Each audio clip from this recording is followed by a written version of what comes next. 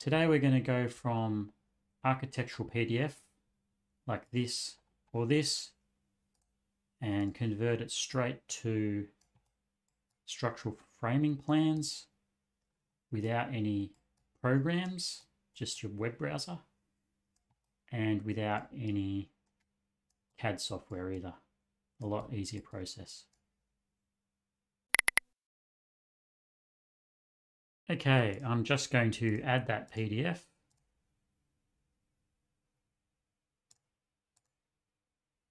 It's a two-page PDF, so I want the upper floor. Comes zoomed in automatically. Pick two points that I know the distance of. 6540. That just sets the scale draw an outline. Pretty easy for this set of plans. This little pop out here is for the garage underneath. I'm going to add a void for the stair.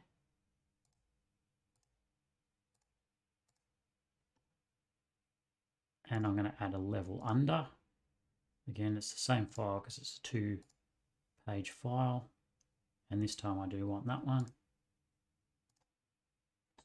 And there you've got your upper and lower levels loaded, ready to go. Just click design.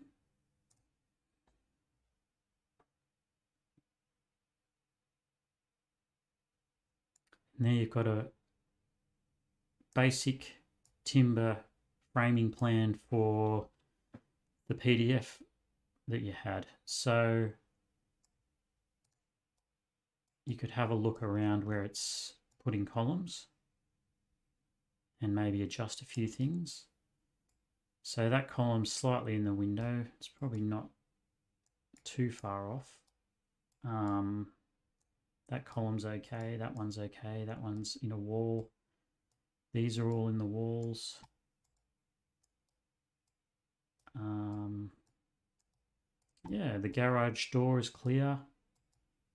It's actually not bad without doing any adjustment. But you can adjust um, column locations. Let's move this little one here. So if I just reset the view and I just drag this column down a little bit, let's see what that does.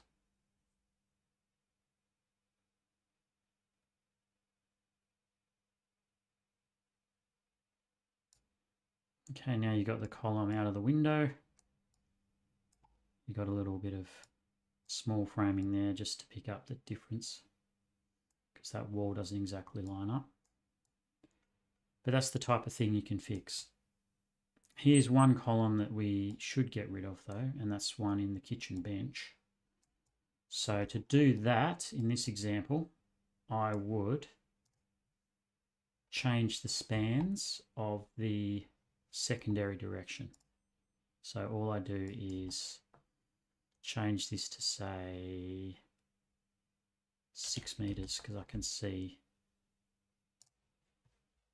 that that spans about five, almost six meters there. Okay, now you've got a clear span there, see? No columns in the kitchen area. Again, you might want to shift that slightly left because this is a new design now. But yeah, you can quickly see a framing plan that works. Obviously, it can be refined a bit later, but you have your material volume, you have your overall depth. You've got some 290 by 45s there. Um, I could change the material to get that a smaller size. Um, I could change the span the other way to reduce that to a smaller size as well.